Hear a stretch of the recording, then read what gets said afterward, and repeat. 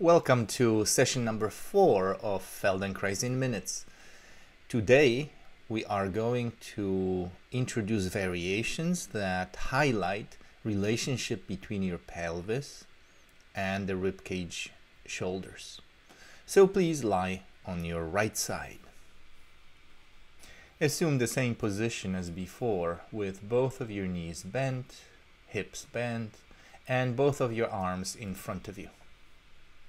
And as always, let's start with the original movement. So we can compare the quality of motion, size of movement, pleasure of doing the movement, and how much of your entire skeleton, your whole 206 bones, are involved in movement of lifting your left arm toward the ceiling and behind you, turning your whole body, how your head follows the motion, your eyes following your hand. Again, with no striving, no pushing, just within the range that feels simple. And even if it's limited, it's okay. Stay within the range that feels good to you. Stop. And now please bring your left knee, the top knee, toward the floor in front of you. Put your left arm straight in front. And let's experience this movement here while the knee, left knee is staying on the floor. You will find that the movement is a little bit more restricted. Your pelvis, because of the left knee, is held in the position of right rotation, very gentle right rotation. So feel this limits the lifting of your left arm and turning of your shoulder girdle, your head, your chest to the left. Do this twice. Again, exhaling as you turn back, inhaling as you return back to starting position. Brief rests in between movements. Maybe one more. Lift your left arm in an arc, turning your upper body, your head.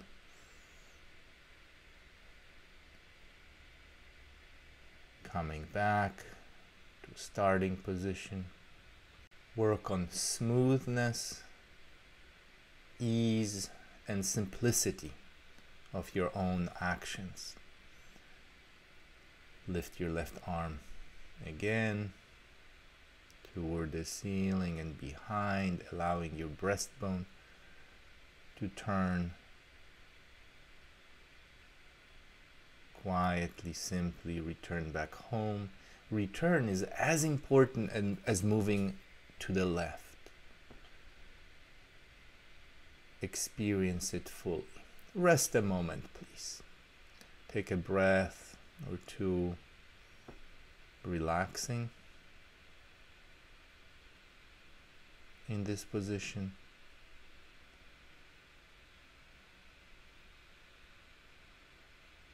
Now place your left hand again on your right hand.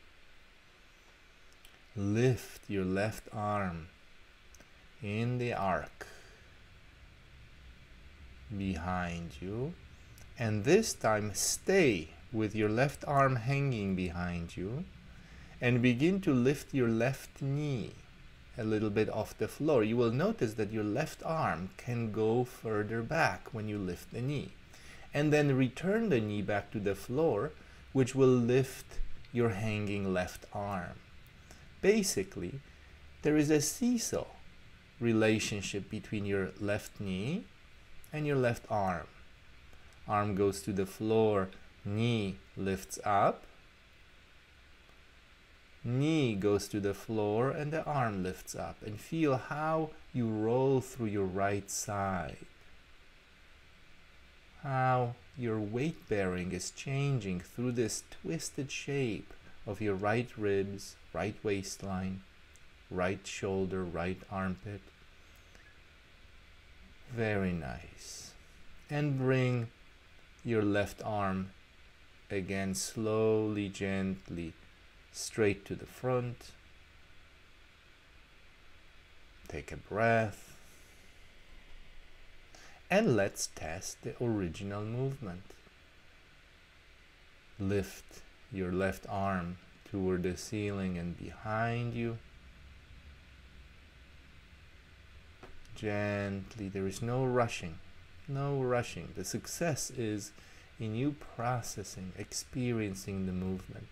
Can you feel the arm going a little further without any attempt to go further? Can you feel the movement is a little bit freer?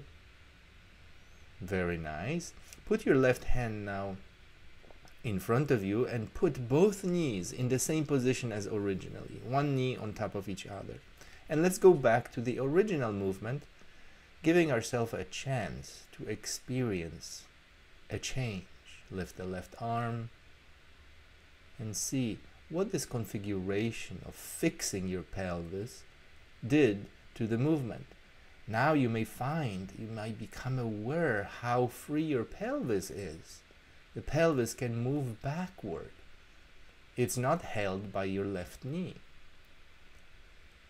One more time, lift your left arm toward the ceiling. Feel how your ribs, your chest, the lower torso, including your pelvis, harmonize, synchronize, and cooperate with movement. If the pelvis is not participating, it's a way of getting in your own way. And now let's lie on your back and give ourselves a minute again that hippocampal minute where the parts of your brain that are responsible for forming new memories and learning have a chance to replay the learning event. Even one minute can stimulate that process.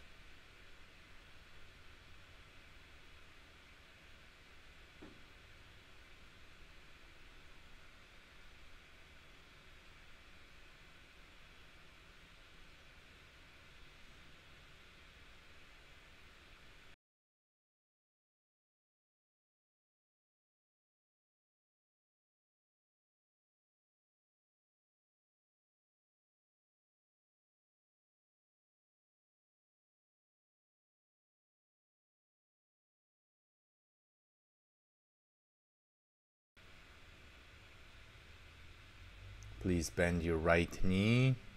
Very gently roll onto your left side. And we'll repeat the process on the other side. First, the original movement. Bring both of your arms in front. Right hand will raise toward the ceiling, the whole right arm, shoulder, head, eyes, chest, turning behind you.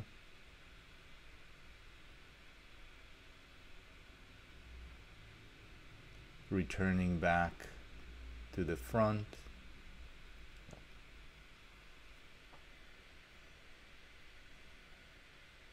Notice if there is any difference between this side and the first side. Difference in size, in quality of motion.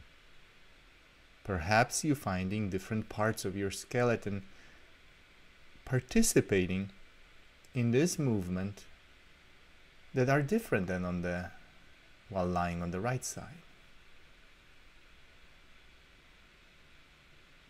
Return the arm back to the front and please bring your right knee in front of you toward the floor. The left knee can go a little bit back, but both are bent.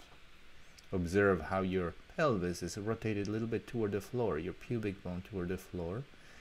And do the original movement of the right arm going behind you in an arc, turning your head, turning your shoulders, turning your chest. Again, you will find that the movement is a little bit harder actually most of you, most of us will find it's harder. Unless there is some form of scoliosis that makes this pattern more preferential. Lift your arm as you exhale. Smooth, simple, gentle movement. Head is following, eyes are following your right hand. Your right knee does not lift off the floor.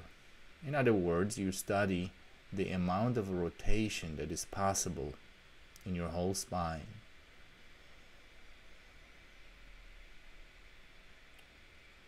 Be mindful of places where we tend to overwork. These are actually places where we injure the most.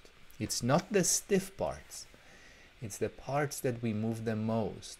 So if you find that something is uncomfortable or something is moving too much, see, could I reduce movement in that place where I tend to move too much and shift to new places. Now, lift your right arm toward the ceiling as you exhale and behind you, slowly, gently. And stay with your right arm behind and begin to do that seesaw of lifting your right knee and bringing your right arm a little bit closer to the floor and then returning the knee to the flo floor which will pick up your right arm off the floor. Of course, unless you have a huge amount of rotation, then you might find that even with the knee touching the floor, the arm can stay. In that situation, reduce the movement and still do the seesaw movement because you have a chance to experience rolling over your left side, left waistline, left ribs through that twisted shape, shifting weight bearing. Knee comes to the floor, arm lifts, and then knee lifts off the floor, come, arm comes back down to the floor Wonderful. Bring your right arm back to the front, gently, slowly. We avoid rushing. We're giving ourselves full opportunity to experience movement. Take a breath here in resting position and do the original movement with your right knee touching, staying on the floor. And see, something may already feel little better. Return to the front.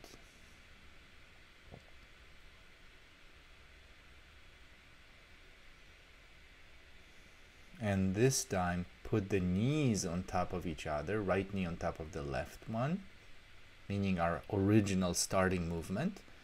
And let's test it. Lift your arm toward the ceiling in an arc. Follow it with your head this time your pelvis is not restricted. Can you feel your pelvis can roll back? Your right knee doesn't lift. The right knee gets pulled a little bit, gets shorter.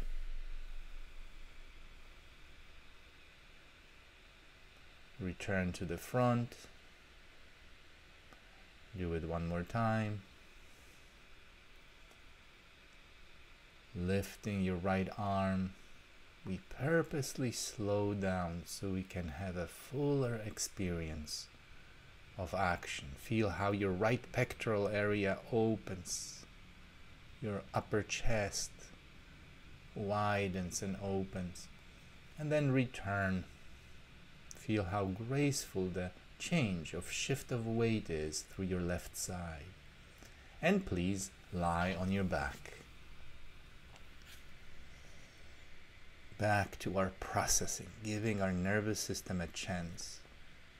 Quiet, eyes closed, and nothing in particular to think of, nothing to get busy with. Stay there for a few more seconds.